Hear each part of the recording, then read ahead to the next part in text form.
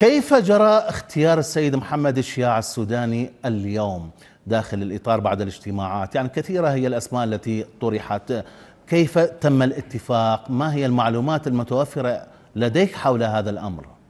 هل كان بالإجماع؟ هل كانت هناك بعض التحفظات من بعض الأطراف؟ أول شيء أرحب بك أستاذ أحمد وبست حلا وبأستاذ نجم وبمشاهدي قناة التغيير أينما كانوا. طبعا إنه في بداية الأمر كان مرشحين لرئاسة الوزراء هم أربعة يعني من بينهم من الخط الأول السيد حيدر العبادي. بعد يعني قبل يوم أمس كان اجتماع للإطار التنسيقي وقرروا تنحي الخط الأول عن الترشيح. وبعدها كانت المنافسة بين السيد عبد الحسين عبطان والسيد محمد الشيع السوداني بعد انسحاب السيد قاسم العرجي من الترشيح.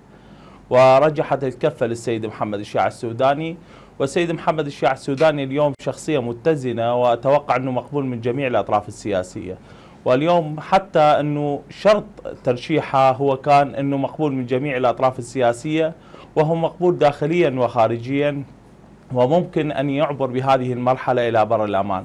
شوف نحن اليوم في مرحلة خطرة جدا ولا نريد شخصية جدلية جدا ولا نريد شخصية عليها شائبات فساد. أو شخصية تكون يعني نوعا ما ما مقبولة داخليا. ولهذا السبب كان اختيار السيد محمد الشيع السوداني هو نوعا ما اطمئنانا للداخل واطمئنانا أيضا للخارج بهذه الشخصية. يعني نوعا ما أنه عنده مكاسب سياسية قديمة وكان رئيس عدة وزارات وماكو عليه شبه فساد. ولهذا السبب اليوم أتوقع أنه عجلة تشكيل الحكومة تسير إلى الأمام.